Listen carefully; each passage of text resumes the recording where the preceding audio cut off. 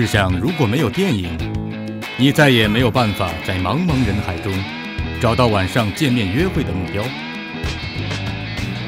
你再也不能一点鼠标就可以知道明星的八卦新闻，成为你酒桌上的谈资。电影真奇妙，仅仅在十年前，普通人想拍摄一部电影，还是想都不敢想的事情。这就带来一个大问题。如果只有专业院校高材生才能有触碰电影的机会的话，那么普通人的电影梦又该安放在何处呢？电影究竟是个什么样子？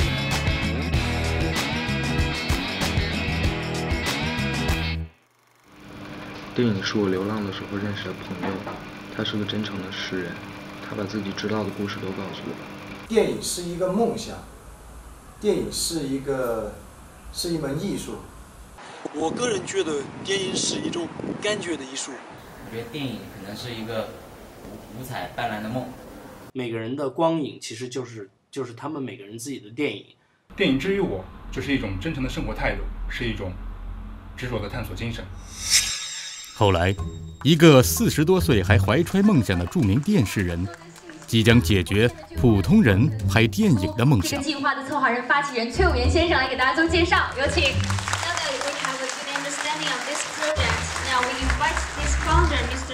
我对你们充满信心，我对你们抱以希望啊！就是只要我们每个人把自己身上的那个浮躁劲儿拿掉，从零开始，从一点一滴开始，研究世界电影的规律，而不是研究中国电影的潜规则。我们一定能成功。我希望因为你们的出现，改变中国电影死水沉沉的这种风气，让它世界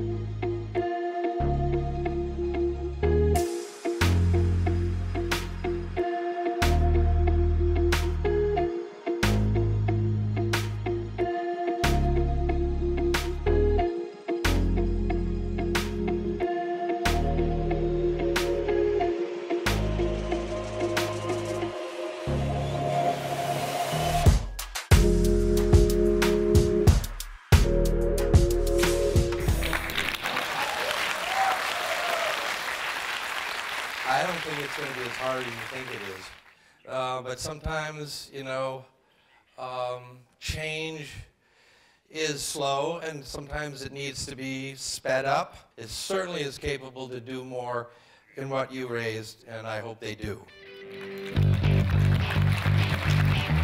但是最重要的是钱已经花出去了。Well, I think uh, someone has made the wrong decisions and we're hiring the wrong people. Ask a lot more questions. 生活已经不太值得被我记录。孩子们现在有点迷茫。I sympathize。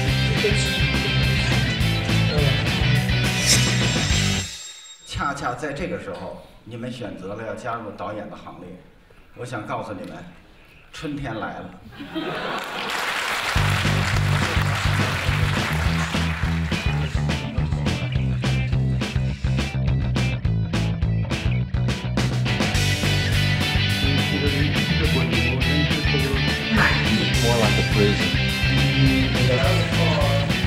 Stories that you want to have universal application.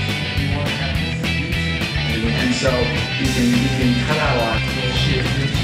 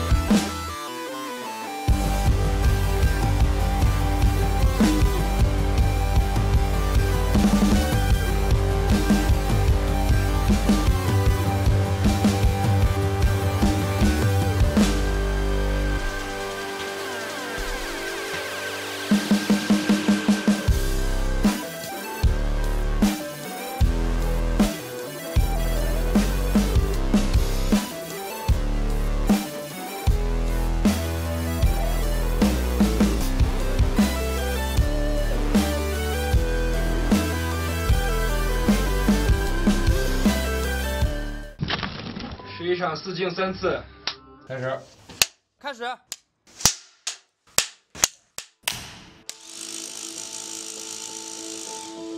你可能以为我会告诉你，在世界上的某一个片场里，有一些未来的电影导演和他们聪明的搭档，正在研究什么新奇而富有创意，或者尖锐而敏感的电影题材，让电影银幕天翻地覆。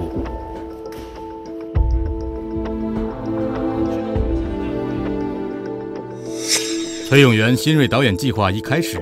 就有超过千位的年轻人在竞争和大师交流的机会，每个人都使出了浑身解数。我是说你，够了。好，过了。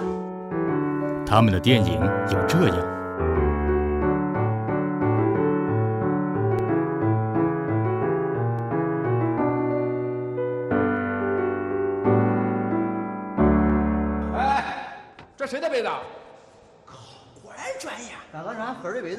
走拿走拿拿走。绝对影帝，功夫熊猫没找你，太太可惜了。那是动画片。他们的电影，或者是这样。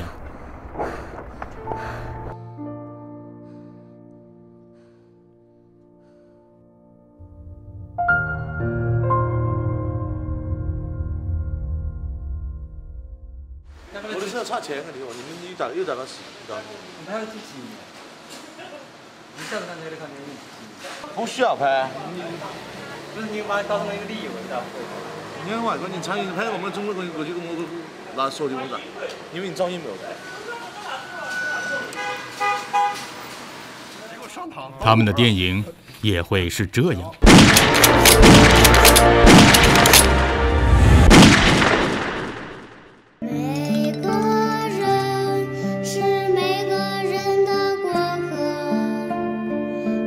学员们的作品都有一个好创意，但是好创意还不足以让他们变成一个真正的电影导演。这事儿需要机会，很多的机会。众所周知，崔永元新锐导演计划最不缺的就是机会，其中大部分的机会就是来自这些坐在黑暗中观看影片的评委们。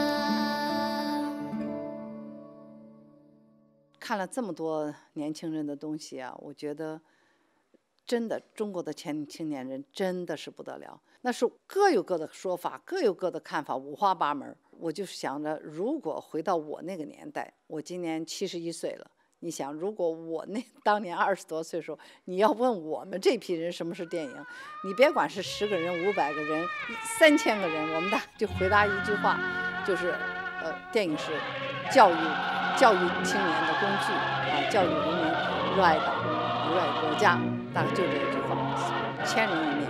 但是现在年轻人的思想如此的活跃，所以我觉得预估一下中国的电影的未来，那就是看这批年轻人。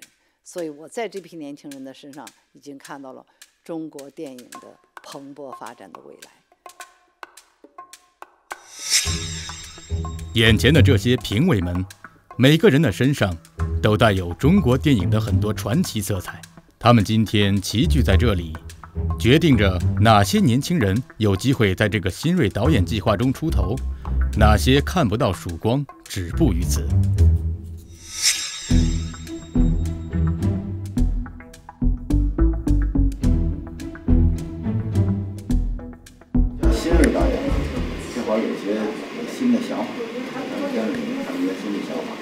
这是一个命题作文，就新年是哎，是唯一的，是我们给出的题目。新年没说非得写什么时候的新年，你拍唐朝的新年也没人管。他有的拍纪录片，可能就真的拍的是二零一二的新年。在新锐导演的计划中，有才华的年轻人比比皆是。评委们甄别出来的学员，不只是基于直觉，更多的是依靠在中国电影行业中摸爬滚打出来的经验，认真挑选着每一个学员。这个过程也曾让评委们痛苦不已，他们之间有争论。因为我的成功的经验，可能就是你们失败的教训。有极力推荐，发行的角度就是当然也有全票否决。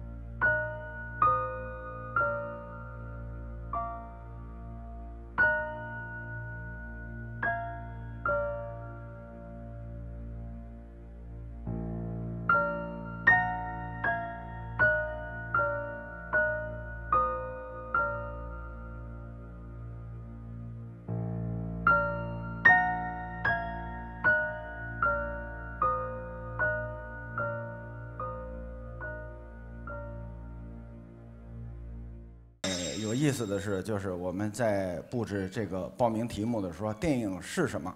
什么是电影？那么好多人呢选择了用影像的方式来告诉我们什么是电影。我觉得比较有意思，因为正好大师都在这儿，想让大师看看，就是我们报名的这个新锐导演学员哈，他们自己的作品。来，关灯，咱们看一下，然后闭幕式。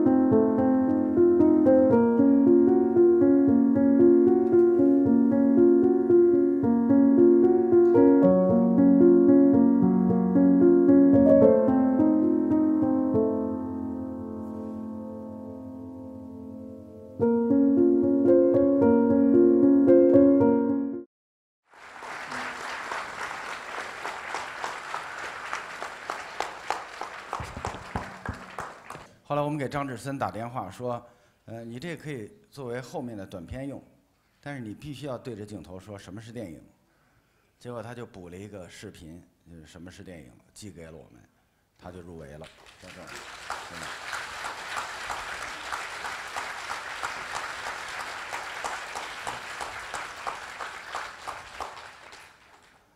张志森，你接着努力吧。因为呃呃，大师都给你鼓掌，并不意味着你进入了前三十名啊。但是我们真的不希望你的电影从现在结束，因为我们看见了你的才气啊。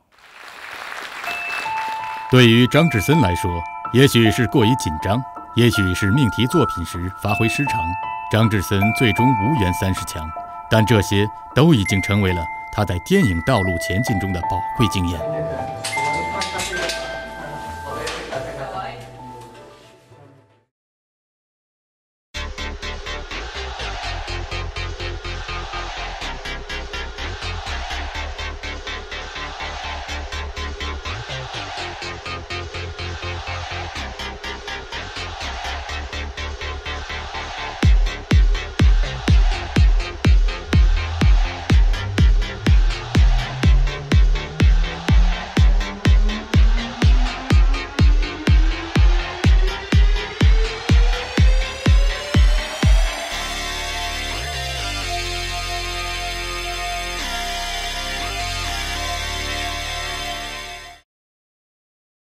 是话剧导演，搞舞台剧的。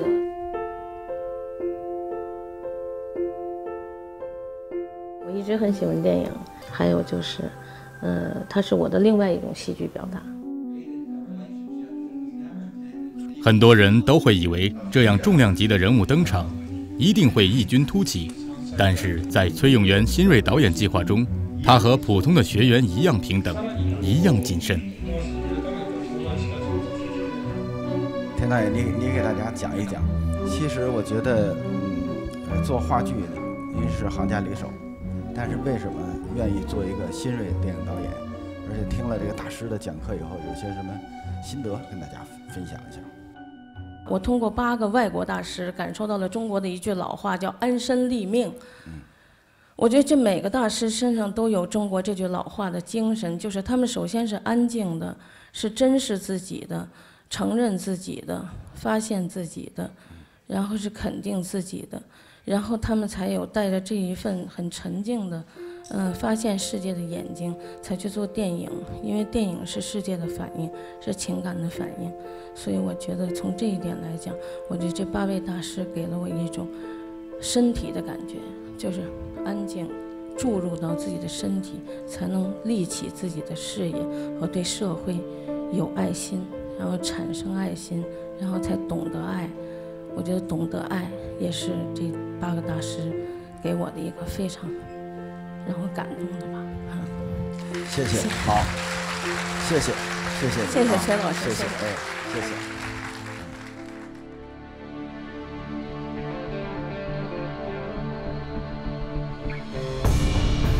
Maybe a you need to trust your niece to tells you what's resource?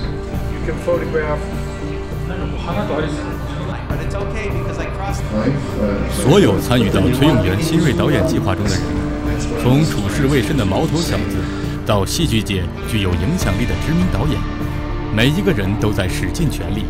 不管最终结果如何，电影大师们的现场指导与学员面对面的交流，都让每一个身处新锐导演计划中的人感触良多。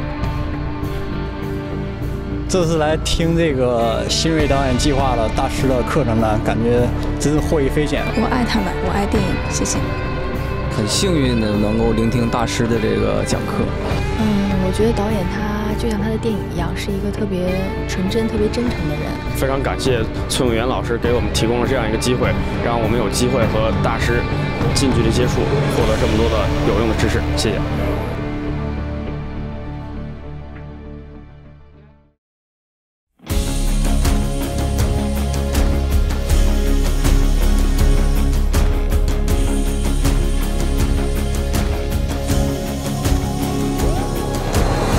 今天，崔永元新锐导演计划三十强的大名单已经出炉。无论是止步还是继续前进，与大师们一起的日子，都会成为这些年轻人最难忘的记忆。因为至少在那一刻，他们触摸到了电影。